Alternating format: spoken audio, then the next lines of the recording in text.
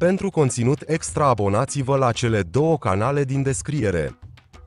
Nu uitați să dați like. Tablou de familie episodul 24 Realizând că a fost prinsă în capcană de Ceiun și Yasemin, Azra se confruntă cu mari probleme. Cuplul Osdemirler se pregătește să intenteze un proces împotriva lui Azra și a biroului de avocatură Erman Arsen. Efe îi oferă ajutor lui Azra și împreună reușesc să-i demaște pe Yasemin și Ceiun, obținând o compensație financiară și scuze publice. Efe are o influență benefică asupra lui Azra, care începe să-și revină. La finalul cazului, Azra decide să se întoarcă la profesia sa și se împacă cu Colpan, pe care o învinovățea pentru moartea lui Ildirim. Colpan i-a promis lui Efe că îi va oferi orice pentru ajutorul său, iar Erman, temându-se că va pierde compania, este mai preocupat de testul ADN.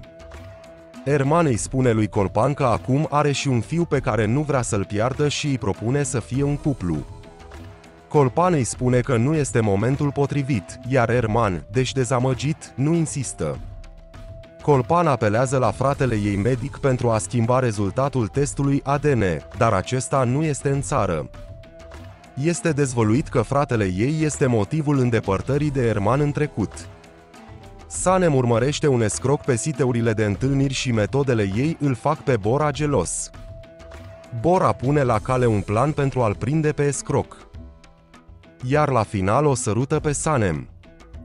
Colpan încearcă singură să schimbe rezultatele testului ADN, dar nu reușește. Când curierul livrează rezultatul la Bora acasă, Erman și Colpan încearcă să-l ia înainte ca Bora să-l citească. Ei pretind că trăiesc o poveste de iubire pentru a-l distrage. Imediat după, Sanem intră și strigă iubire, șocând-o pe Colpan. Vă mulțumim pentru vizionare! Abonați-vă la cele două canale din descriere pentru a afla ultimele noutăți despre serialele tale preferate.